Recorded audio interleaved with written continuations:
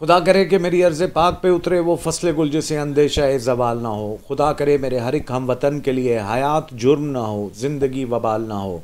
अब तीनों हजरात, ये नविश्त दीवार है कि अगर इलेक्शन हो जाएँ तो इमरान खान ही इस मुल्क के सरबरा बनेंगे, वही इस मुल्क के वज़ी अजम बनेंगे। ये बात बच्चा बच्चा जानता है, बल्कि इमरान खान का हर वो दुश्मन जानता है, जो इस वक्त इमरान खान पर जुल्म और जबर की नई दास्तानें रकम कर रहा है। इलेक्शन का दौर, दौरा है और सो कॉल्ड इलेक्शन कि जब इलेक्शन की बारी आई तो अब पाकिस्तान तहरीक इंसाफ के कारकुनान की पकड़ धकड़ एक मरतबा फिर शुरू हो गई।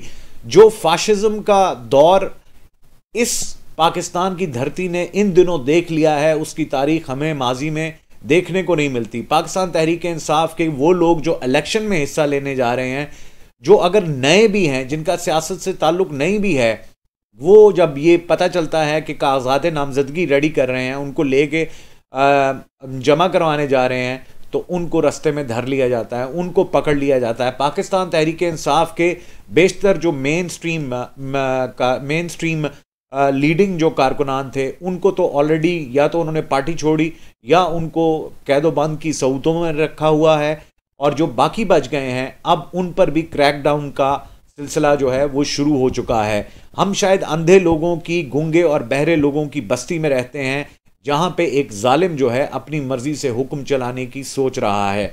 लेकिन ये जान ये जान के रखिएगा कि जुल्म जब हद से बढ़ जाएगा तो फिर इनको तकलीफ़ देगा। खबतिन हजरात, पाकिस्तान तहरीक इंसाफ के हवाले से और उनकी सीट्स के हवाले से हमने दो दिन पहले एक वी किया था। उसमें मैंने आपको ये बताया था कि नून लीग को इस वक्त हर तरह से नवाजा जा रहा है।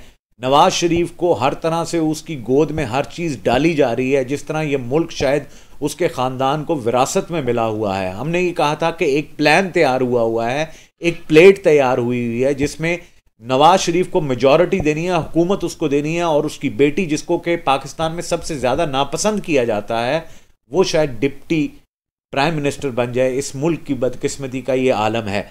अब जो चीज़ें अनफोल्ड हो रही हैं, उसमें बहुत सारी मामला जो हैं वो सामने आ रहे हैं। बारी बारी करके सब चीज़ें आपके सामने रखता हूँ कि एक तो आप आप जानते हैं कि लाहौर को गढ़ तस्वुर किया जाता था नवाज़ शरीफ का और, लेकिन हमने आपको ये बताया था कि 130 सीटें उसको दी जाएँगी। बाकी जो छोटी मोटी पार्टीज़ हैं और, जिनमें के ए एन पी हो गई और, बाकी जो बाप पार्टी हो गई, मौलाना फजल रहमान हो गया ए एन पी हो गया, ये भी नवाज़ शरीफ की गोद में रखी जाएगी। ये बात भी मैंने आपसे की थी कि हज़ारा से सीटें दिलवाई जाएँगी, नून लीग को डेरे से सीटें दिलवाई जाएँगी और पहली दफ़ा आँखों में मिर्चें डालने वाली बात है, धूल झोंकने वाली बात है कि कराची से भी नून लीग जीतेगी। अब नवाज़ शरीफ ने फैसला किया है कि वो हज़ारे से इलेक्शन लड़ेगा, लेकिन नवाज़ शरीफ ये भूल चुका है कि हज़ारा जो है वो अब पाकिस्तान तहरीक इंसाफ का गढ़ बन चुका है। नवाज़ शरीफ को इस दफ़ा वहाँ से वोट कम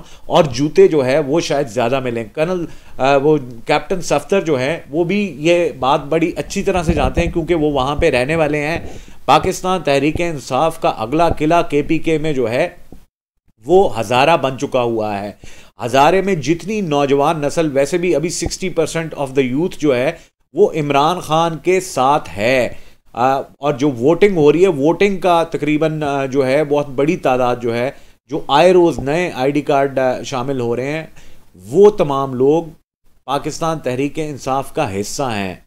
और नून लीग के जो कराची से सीट लेने वाली बात है तो मरियम नवाज़ जो है, वो अब कराची से सीट लड़ेंगी सीट पर लड़ेंगी। और हमने आपको ये बताया था कि शहबाज शरीफ जो है, वो इस दफ़ा नेशनल असम्बली के लिए नहीं आएँगे।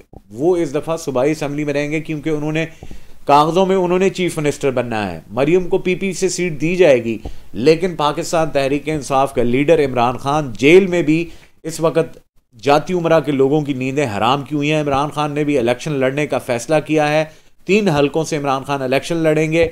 और लेकिन अब मसला ये है कि जेल के अंदर कागजात नामजदगी जो है वो जमा कराने की इजाज़त नहीं मिल रही। अंदर नहीं मिल रही, बल्कि बाहर भी जो है वो इजाज़त नहीं मिल रही। अभी आपने चीफ जस्टिस के मुँह से एक नाम सुना होगा, उमैर न्याजी, बैरिस्टर उमैर न्याजी। जी हाँ उनका ताल्लुक मियाँ वाली से है, उन्हें, उन्होंने कागजात नामजदगी रेडी किए तो पंजाब पुलिस जो है, वो उन पर धावा बोल दिया, उनको पकड़ धकड़ जो है वो शुरू कर दी। फिर जो इलेक्शन में वो जो एक सिलसिला होता है कि आपको अपने कुछ तजवीज़ को नंदा देना होता है, हमायत याफ्ता, लोगों का सिग्नेचर्स होते हैं। वो काम नहीं करने दिया जा रहा। यानी कि इस टाइम कंप्लीटली एक मरतबा फिर जो है, वो फाशिज्म पाकिस्तान में शुरू हो गया है।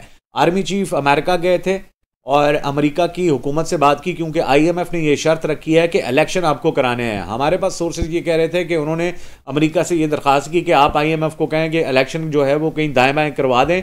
कोई इलेक्शन की शर्त ना रखें हमारे साथ आईएमएफ वाले। लेकिन मेरा ख्याल है कि उधर से यही बताया गया कि आपको इलेक्शन कराने होंगे। मैनेज किस तरह करने हैं, ये आपने देखना है।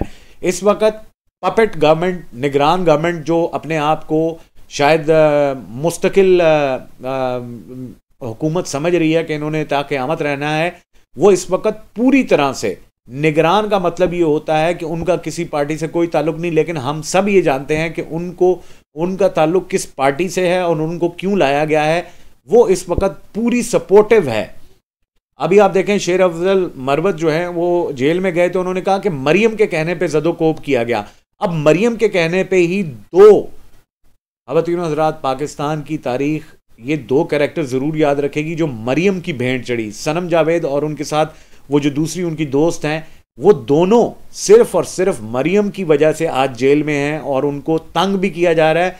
और अब सनम जावेद को इमरान खान साहब ने इजाज़त दी है कि वो मरियम के ख़िलाफ़ जो सूबाई असम्बली का इलेक्शन है वो लड़ेंगी। तो लेकिन दूसरी तरफ़ लेवल प्लेइंग फ़ील्ड वाला मामला नहीं है।